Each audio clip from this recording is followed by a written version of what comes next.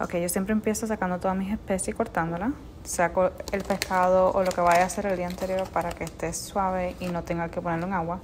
So, aquí tengo el ajo, ají cachucha, ají cubanel, ají pimiento rojo, tengo verde, tengo eh, cebollín que lo corto en pedacitos, tengo dos tipos de cebolla blanca porque tenía blanca y púrpura que es la usualmente la que usamos aquí y tengo mi cilantro cubano con una hojita de perejil. Ok, se voy echando la cebolla.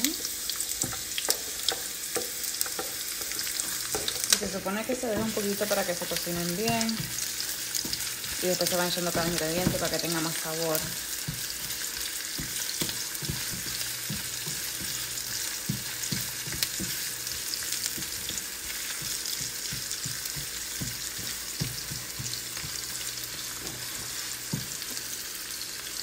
Pero estamos un poquito apurados, así que vamos a hacerlo todo junto por para allá. Que te caigan dentro.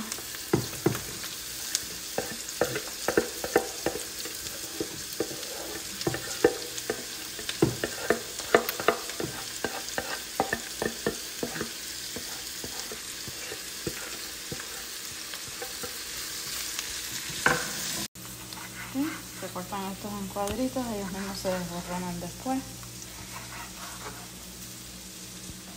Yo los corto a la mitad, así, y ahora los cortando en cuadros.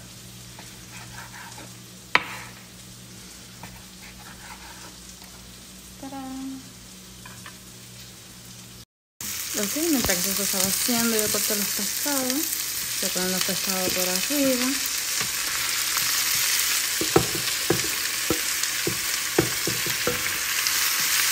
Le echo la sal.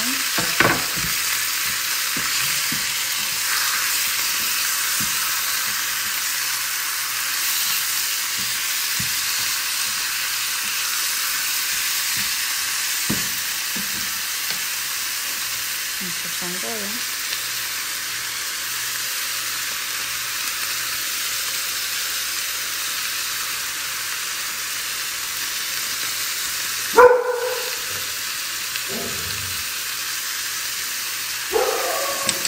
sangre. she goes.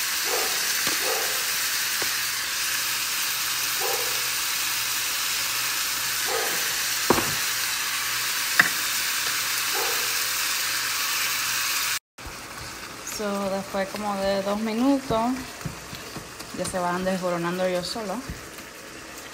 Los puedes aplastar un poco. Y cuando tengas así medio flat, se le puede echar un poco de pasta de tomate. Nosotros la agregamos con un poquitico de agua porque no nos gusta mucho la pasta de tomate. Pero una cucharada también como la de sal. Hecho. Para que coja un poco más de sabor.